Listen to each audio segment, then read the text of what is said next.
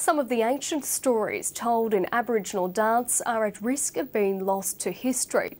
But a major dance event in the Northern Territory is helping to preserve those customs for future generations. Jano Gibson reports from the DanceSite Festival in Borroloola, 900 kilometres southeast of Darwin.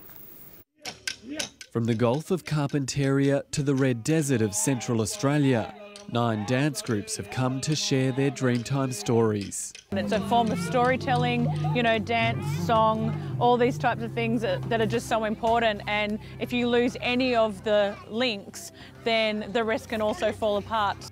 Each region across northern Australia has its own unique style that tells the stories of its ancestors.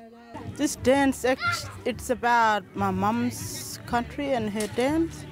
It's a story about the bilby and uh, the mulga sap and bush coconut. DanceSite is a festival that not only celebrates traditional dance, but helps maintain it for future generations.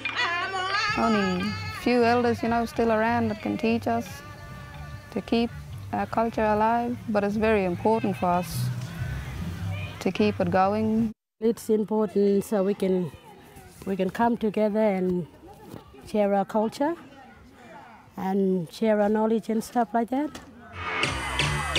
Not every group is here to tell the stories of the past. The Chooky dancers have gained a global following by fusing tradition with contemporary culture.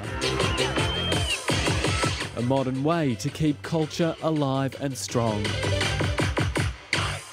Jano Gibson, ABC News, Borroloola.